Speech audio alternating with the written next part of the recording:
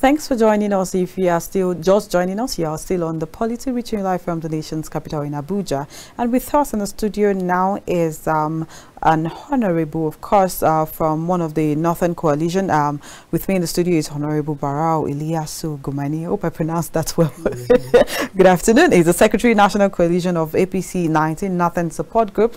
And of course, the FCT chapter. Welcome once again. Thank you. It's good much. to see you. All right. Um, um, there's been lots of back and forth on the polity about um, recent happenings in the APC. But then before we delve into that, I'd like us to talk about uh, um, President Bola Ahmed Tinubu's 100 days in office. And of course, the major highlight is um, subsidy removal.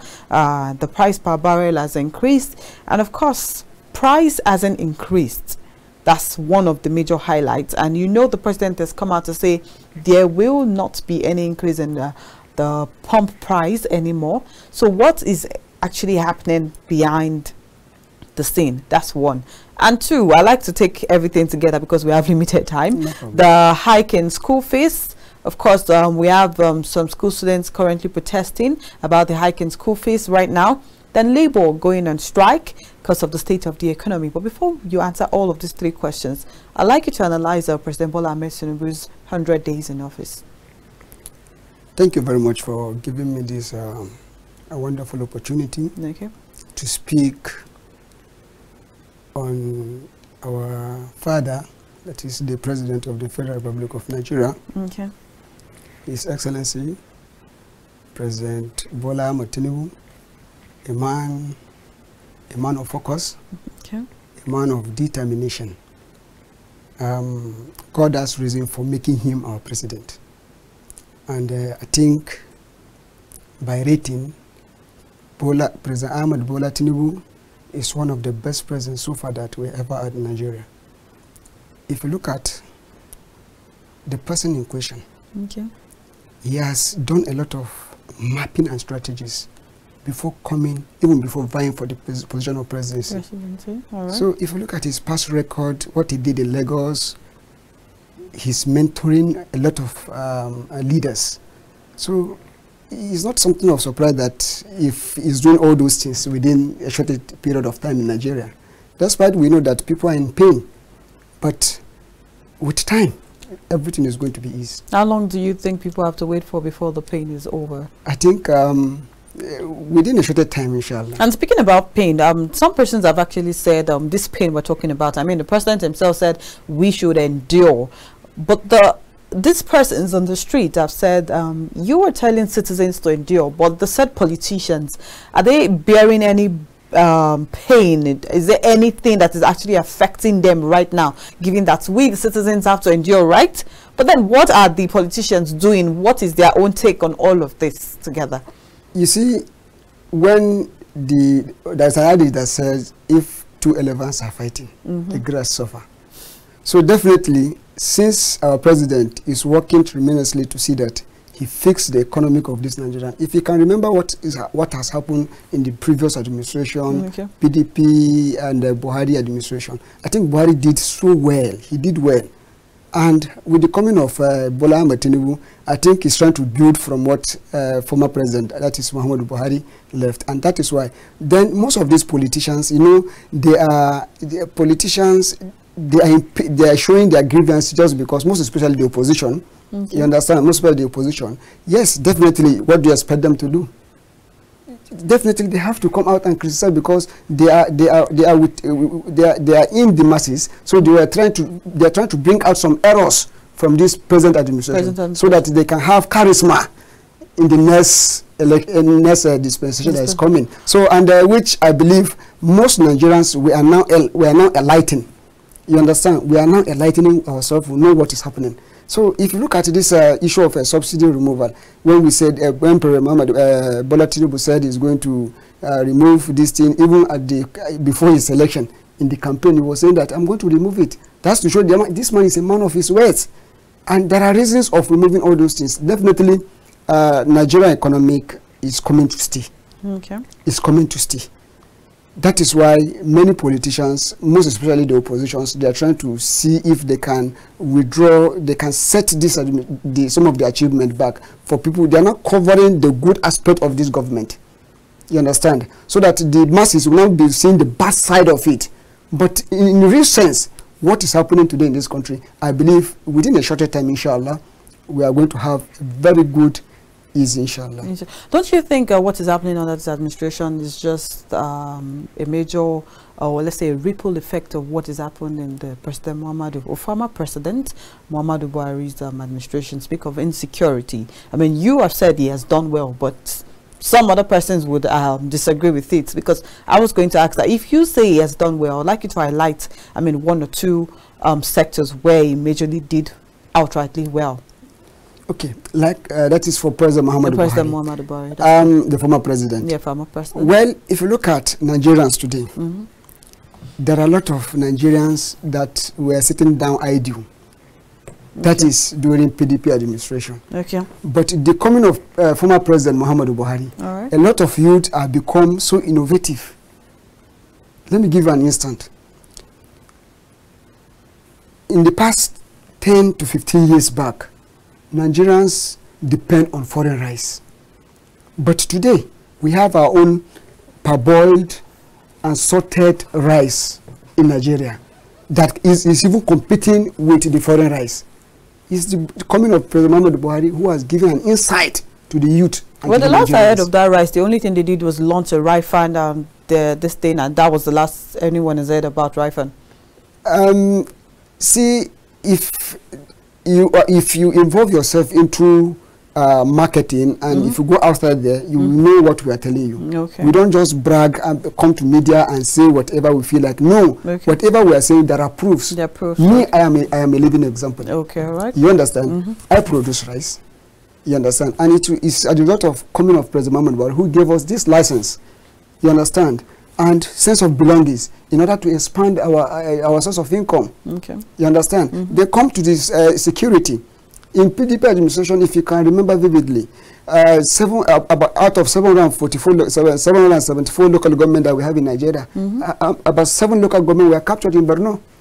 But seven. Now yes. compare that seven in Borno to how many we have right now. I mean, given the even let's talk about the Abuja no, to Kaduna. No, none of none of none of all these things is existing. Is existing again. No, no, the no, Plateau no. State killings don't exist. Uh, that the one, Taraba killings one, and kidnappings. That one, that one. The Niger State uh, killings. I mean, that's just few out of. That one, that one is just a politics. It's just what. It's just politics. Okay. And what do you expect from the opposition to do? Just to see that they weigh down the the, the effort, the effect, uh, the effort of this administration. So uh, to, to me, I'm not seeing any any any bad side of uh, the former president and this present administration. They've tried seriously. Okay. If you can remember, in 2000 and, uh, before 2015 election, a lot of bomb blasts were exploding in, in, in Abuja here. But now we have banditry and kidnappings and um, lots of, I mean, this one is just, is just Fulani, is just Fulani herdsmen, just herdsmen. Do you have proof to show that this is Fulani herdsmen? Because this, how we it's just, it's just a crisis between the farmers and the herdsmen. And the herdsmen. And what do you expect for somebody who has a road? They've created a, a road map for him to follow, and you went and farm directly on the road. What do you expect? Just like somebody some, somebody building a house on the road. If a car is coming definitely it has to bash into the house. So that is what is happening. So we don't have any other if somebody will come come to the air and start saying that uh, we have banditry we have all these things to me i disagree seriously i disagree. What is happening if you, if you look at uh, kaduna express road you mentioned, made mention of kaduna express road nothing is happening again. Uh, the rail station happened during the former president Muhammadu Buhari's administration.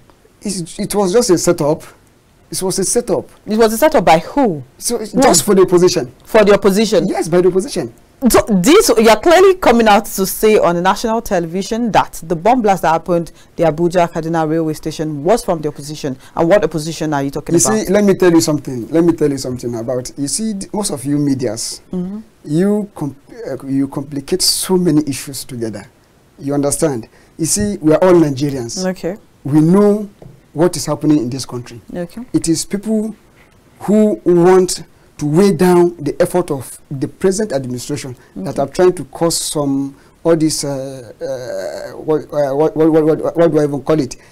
All this crisis. You understand? So and people are being sponsored. People are, sp are being sponsored to go and, and and and act unlawfully, which is not good. You understand? Mm -hmm. So most of these bomb blasts, uh, bomb blasts that were happening during PDP time is not happening again. Okay, let me give you an example. Before, before I, before I was allowed to come into this place, I think I would have been checked thoroughly. You understand? But now at least I move freely to down to this place without anybody checking me because they know that the, secu the insecurity has at least reduced in some percentage. Out of 100%, at least 80%. Understand? So Alhamdulillah, we thank God for this uh, President Buhari, President um, former President Muhammad Buhari's administration, and it is said ad same administration. Okay, Dan, speaking on the previous administration and because you've laid your antecedents on the past administration, correct? And a few months before the handover, of course, of uh, pres former President Muhammad Buhari, um, ASUU went on strike, and now there's hike in school fees. I mean, given the economy of uh, the economy right now of Nigeria, everything is in almost in shambles. Do you think the hike in school fees is actually necessary right now, given the state of the economy of the nation? To me, it's not necessary. So why do we have hike in school fees? I mean, we have people um, protesting everywhere. Definitely, in life, mm -hmm. there is what we call change is constant. You understand? Change is constant. So as the the state of economic is growing, mm -hmm. is changing. Sorry, is mm changing. Okay. Definitely, a lot of things will change. But I think I, I overheard the president saying they are going to reduce the price of school fees, which he has directed all the state governors to do that. Let me give you an example. Like uh, the, gov the governor of uh, Kaduna State, he has reduced the school fees at least by 50%. Do you understand? Okay. So he has reduced some of these school fees by 50%, and which I believe so many governors will queue in. So many governors will queue in and they are coming inshallah. Okay, all right. And now let's uh, move to labor strike before we go to the ministerial list. Uh, Labour has um, said they would go on strike given the 21 days ultimatum they've given the federal government elapsed and they've not gotten, most of the states in Nigeria have not gotten their palliatives. I'd like to get your opinion on that. And do you think going on strike is actually uh, the way forward right now? I mean, shutting down the economy of a country that is barely or struggling to survive. Do you think that's the way forward? for now it's not the way forward. Okay. Because for Labour to go on strike now, it's not going to affect only the government, but the masses. If truly they are working for the masses, they should have looked for a modality, different modality, to coach in this situation, not by going for strike. Strike is never the best, the best way of, of, of resolving issue. For instance, if Labour said, okay, they should shut down all uh, ministries and agencies and banks, whatever, whatever, you see, the masses will be affected. Because most of, if you look at most of this government, they are saying they, should, they are going to close most of them. They are well doing. What of the masses? The, the last two days strike they went, I, I know somebody who fainted at the, at the cost of no money. Because banks are not Yes, banks were not working. He went to POS to withdraw. They charged him, they, they, they, they beat him, and he could not receive the, the, the, the, the cash. Where will he run to go and complain? He has, to, he, has to, he has to sleep with hunger. The following day, we have to go and rescue him. You understand? Mm -hmm. So if the labor are looking at going to going for strike, mm -hmm. it's very bad. They should look for another way to reconcile with government, and which we believe that this government is working tremendously to see that they fix this economy. I think last week the Minister of uh, Labour and Employment, mm -hmm. he was saying that by next week they will release the new national minimum wage uh, amount. So if the labours would at least look for another means of at least resolving this kind of issue, it will be better. It will be better. So don't, I don't, I don't think going for strike is, is a solution. I don't think it's a so solution. what, what do you think is the solution right now? Yes, already already they have the pres the presidency have formed a committee okay. involving the, the, the labor union. They are members. They are members of this committee, okay. and they've not even come out to say, okay, this is what we want. This is this is the amount that this is the percentage they want, the, the national minimum wage rate that we want. For for even the government to even start bargaining.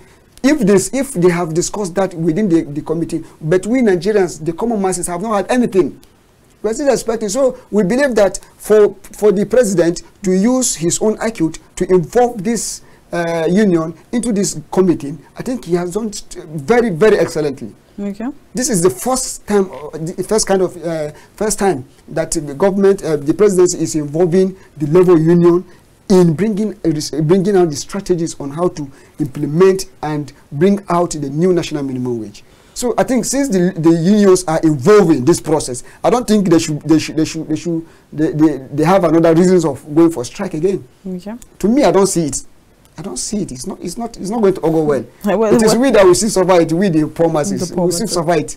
So for me, I think they should. They should. They should still uh, give the president more time. I More think time. he's going to. He's working on it seriously. Okay, let's so let's hope the president does something fast about it. Now, uh, speaking of, uh, you're the secretary of the National Coalition of APC 19 Northern Support Groups, um, the FCT chapter. Can you quickly tell us what that is about? Because I mean, everybody has a coalition of this, coalition of that. Mm. But then I'd like to know what you guys do in general before we get into the ministerial list of um, the APC right now. I think um, in 2015, Okay. Our able president, Dr. Maina Abdullahi Gimba, when he went around 36 states, including FCT, Mm-hmm. he mobilized a lot of youth to at least to gain um, a vote for APC. Right. That is for former President Muhammadu Buhari. Okay. And uh, using all this media, at least we have, it has um, given an insight to the Nigerian youth. Okay. because he came out publicly to say that this is the party that that are going to serve as our messiahs. And by god's willing it has happened. So we go to every nooks and crannies to see that we enlighten people about this administration. So that is the work of this uh, uh, coalition. Coalition of yes. So we go to we move from uh, from angle to angle corner to corner nooks and crannies everywhere to see that we enlighten people about the good work of this uh, present administration Present administration. Okay, Yes. enlight- in, um, enlightening people about um, the current, uh, what the current administration is doing. Are we looking at um, expecting a minister of youth right now? Do you think that's actually something feasible? Yes. That is why we, the 19, uh, the, the National Coalition of 19, uh, APC 19 Support Group, Okay. we have decided to say, okay, we want the, federal, the presidents to look at our able, able leader, Dr. Abdullah Maina Gimba, for Minister of Youth. Reasons is this. If you look at the, if you look at the structure of Nigeria, Yeah. I think the North has the highest number of youth. You understand? So, and based on democracy, based on democracy, we look at uh, the no- the majority. I think carries the vote. You understand? So, him being, if he's given this minister, I think he's going to carry almost everybody along, as far as Nigerian youths are concerned. And we, the 19 Northern Coalitions, I think we have our support for him, and uh, not only not only in the northern northern northern states, Okay. even the southern and the southeast and southwest, even south south. He has a, he has made a lot of people to become who they are today. You understand? He Mhm. has made some, so so many people to become who they are today. So in making people who they are today, that you guys are trying to repay him back with loyalty of supporting him to be the minister of Yes, youth. yes. But then, speaking of minister of youth, don't you think the minister of youth should be a young and agile person? he's a young person. How old is he's he? a young person. How old is he? I'm sure he's over 50, correct? He's a young person. He's not up to fifty. He's not up to 50. He's not up to 50. Are you sure? Yes. That's the Nigerian age or just the normal age? normal age. normal age.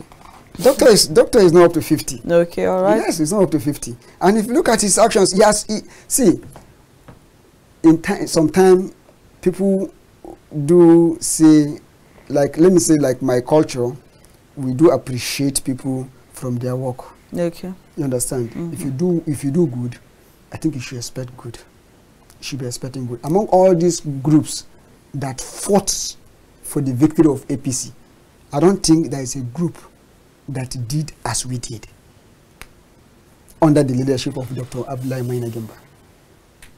This man has spent, I think, I cannot even vividly analyze how much he has even spent in this movement. He has spent a lot for this movement.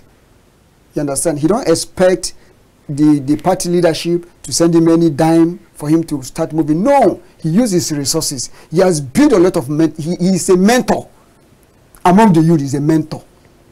You understand? So I think Dr. Maina Gimba deserved this position. He deserved this position because with him, I believe, is, uh, uh, out of 100%, 95% of Nigerian youth will will know that yes, they now have a youth minister. A youth minister. Okay, Yes. what what what should be our expectation from him as a uh, minister of youth? Because of course we know we have the case on ground right now that people want people that are actually young and agile, and then of course there's the faction and all of that. But then you can't speak on behalf of Nigerian youth right now because you can speak for your own faction. You said 19 northern states, if I'm correct. Yes. Now we've not heard from the west. We've not heard from the east. So we would just stick to the northern groups right now and say, okay, yes, the northern, he has the full support of the northern groups. Is there any proof to show that, yes, we have the west and of course the east in support?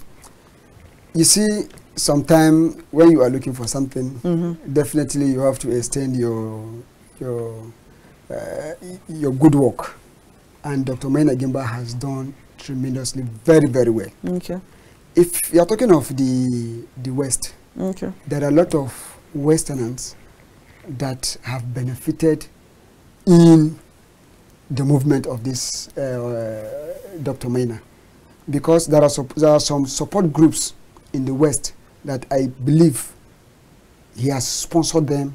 They do come to him, and he give them at least some penny for them to move. So he has extended his good work not only in the north. Let me give you an instant. Dr. Maina Gimba, our expectation, if given this position, Dr. Maina Gimba has done something that made me to shed tears. Made me to shed tears. There are a lot of crises that has happened within youth, within some communities in FCT here. I think Dr. Maina Gimba went strictly and settled it without in- involving the security agencies. That gives me so joy, and I, at least he at least he gave he gave that youth almost 20 million naira just to settle the crisis within them. He has to go to villages, go to if did you, did you, have you seen his uh, his his, uh, his visit to, to Soba recently? What happened in Soba? That is under Kaduna State. Has a lot of settle a lot of things. I know of Fulani groups that went met, that went went to meet him that their cows were stolen. They don't have anything. This man gave them 10 million naira to go and replace their, their lost cows. So im- imagine all those things that the Tomeno Gimba has been doing. He is not segregating that this man is a Christian, this man is a Muslim, this man is from South, this man is. No! He has taken Nigerians youth all together to become... If if his, his actions are just dwelling uh, exactly as that of uh, our past presidents, you understand, that does not think of saying I am from the north, the southerners are not my business. No. Right now, his own aide, his driver, is from south. Mr. Kunle is from south. Go to his house, his cooks, most of them, they are, they are Igbos. Most of his cooks, they are Igbos. Most of his closest associates too, they are not even, most of they are not, see, it's just few that are even the northerners, but go and see what he's doing. I think him being the, if given the position of uh, Minister of Youth, I think youth would, will smile. yes. All right. Apart from um, um, youth, some youth um, going to meet him and of course sharing money, I'd like to know about his antecedents. I'm sure our viewers are, of course, curious. Speaking of antecedents, um, has he done? Has he owned? Uh, uh, has he been in any public office before? Does he have any antecedents related or affiliated with the youths apart from, of course, the communities? Yes. Okay. You see, Dr. Maina Gimba is a, is, a, is a national chairman of Arewa Youth. He's a national chairman of Arewa Youth. That is why most of his activities is well known hmm, all over the north. All over the north. And that is why I gave you an instance. Even in Niger State, he has been going to so many places to settle crisis. Do you understand me? Mhm. And he has sponsored a lot of students outside and inside. He has, he has sponsored a lot of orphans. You understand? Right from primary school, secondary school, down to high institution. And he has made opportunity for so many youth to have sense of belongings. He has opened, yeah, at least, I think in the in 2000 and 2018, he has empowered almost 178 youth by giving them three 300,000 naira cash. Three 300,000 naira cash for them to, to be self-reliance. No, no youth, nobody will go to Dr. Maina and say, this is what I want. That will, he, will, he will not support, will not be supportive. If he doesn't have, he will make sure that he gets, he try by all means, he get away for you. Okay, as we wrap up, um, of course, you know, uh, being an independent body is different from being a minister. Now, yes. we get into, um, of course, in being a minister, of course, there's going to be the shadow, the security, and everything. Do you think it's still going to be accessible that man, the way that he man is I as know. a personal man? That man? man? I know. That man, that man, Mr. Uh, uh, Dr. Maina Gimba. The, forget about the number of security that will be. That man has passion for, for, for, for youth. Okay. I don't think those ones will become a, will be a barrier to him to his to, to his uh, uh, uh, uh, actions. Let me say his work. Okay. Security they are just meant to escort him and to but other activities that he's going to do they will not interfere. He is the minister. You want to you, you remember he's, the, he's going to be the minister. Has, it, has that been confirmed? inshallah, inshallah is going to. It's going inshallah. okay, yes, all right. We hope in God. Okay, yes. all right. Thank you, Honorable Barawi Yasu Gamani. Thank you for joining us on the program this afternoon. Thank you very much. All right, I'm sure our viewers have learned one or two things from you, and it would be nice to have um, the Honorable himself, of course, join us on the program one or one of these days, probably next inshallah, week. Inshallah. all right. All right, thank you, viewers at home. Thank you for staying with us on the Polity today. This is where we wrap it up for today. Thank you for staying tuned. I remain Mess Babajide. See you same time, same station tomorrow. Bye.